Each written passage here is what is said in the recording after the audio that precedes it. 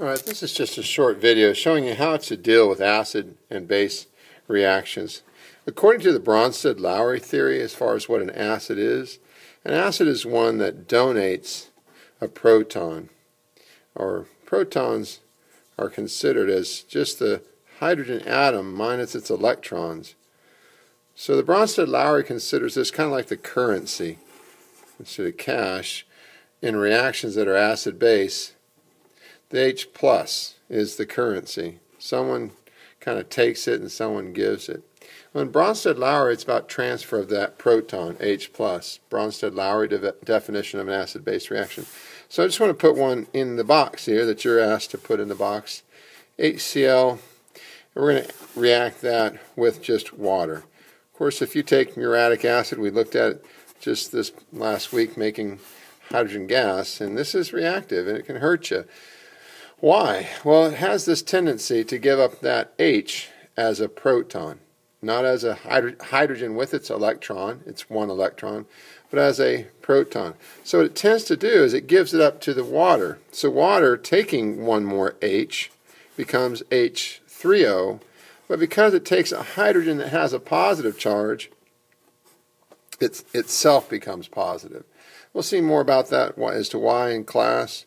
But for now, just know if you're neutral and you have to accept a proton from this acid that donates H plus, you're going to become positive. If, again, if you're neutral, you're going to become positive. And of course, you're going to have one more hydrogen. What's left is the Cl minus anion left over when HCl gives up the H plus to water. We make H3O, which is called hydronium ion, and we make a chloride anion. Now it is slightly reversible. It says something that this reaction is reversible. Most all reactions have some amount of reversibility, but HCl is a very, very favored towards giving the proton to water or whatever it's in. So what I want you to do for me in this first one here below is I want you to think about this donation of a proton. In this case we have just two water molecules and one of them is going to take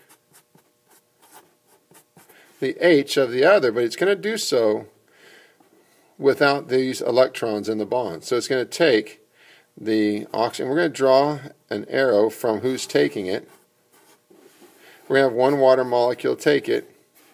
This is going to be left without then the hydrogen. So we'll draw that one first in this example. Here we drew it last. So it'd be OH minus because it's got two H's, but now it only has only one. And it has a negative charge just like this has a negative charge. And of course, if this was a negative, this is going to be left as positive, H3O, and I'm going to draw it without the structure. Because it took, and we'll close with this, this water molecule took a hydrogen, but really a proton, H+, plus, and because it did that, it made what we call hydronium ion, and it left the other, mole, other water molecule with a negative charge. Try this with the other examples that you have 2 through 5 in class, and this is our introduction to acid-base reactions.